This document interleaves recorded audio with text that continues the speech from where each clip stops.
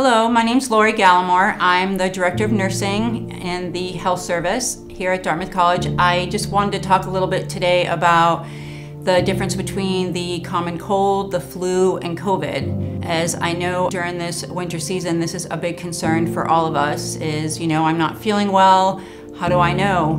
What, what's the difference between all those? So let's start with the similarities. Um, any of those illnesses can have, you can have a fever, a sore throat, some nasal congestion, headache, fatigue, and really what we think about is how do they differ? And there's really not that many differences between all three of those. So in this population, we see a lot of really just upper respiratory, so mostly nasal congestion, sore throat, and headache.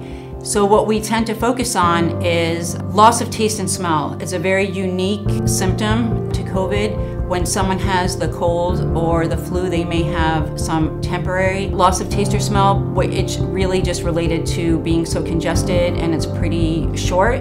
And with COVID, it's more of it comes on suddenly and can take a few weeks to resolve.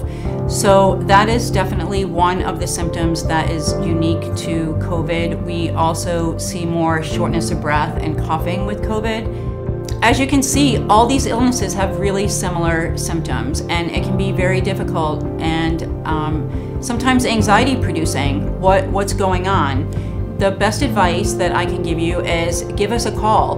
There are nurses available 24 hours a day for you to call they are going to go through all of this with you. They're going to ask you about all your symptoms and they're going to ask you about what you've been doing lately and again trying to get that travel history and exposure history and it's their job to help sort all this out and then if we think you need to come in and get tested we can bring you right in over to the health service and get you tested and also give you advice on how to manage some of your symptoms while we are waiting for test results, and that is really the best way that you can take care of yourself and we can all be healthy as a community.